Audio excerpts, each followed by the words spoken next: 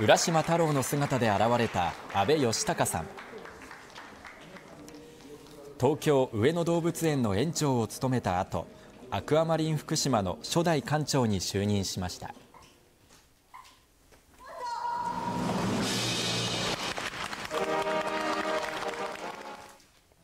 まあ、個々の動物を分類学的に並べて展示する博物館型の展示でなくて、えー、生態系をセットで見せるというのが一つの方向なんですね。安倍さんが目指したのが今までにない水族館。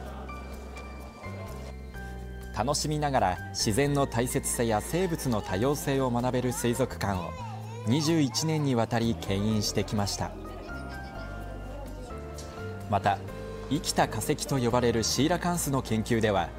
2006年にインドネシア沖で初めて撮影に成功するなど世界から注目されました。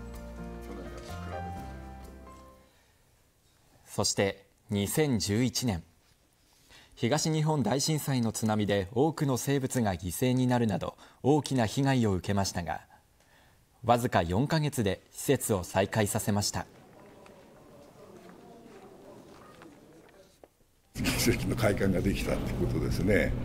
要するに諦め最初から諦めちゃうとこれはダメだったと思いますね。身近な自然環境海山川の好循環を取り戻す。トム・ソーヤを育てる水族館として頑張らなくちゃならないと思ってます。安倍さんは今後名誉館長に就任しこれからも施設を支えていきます。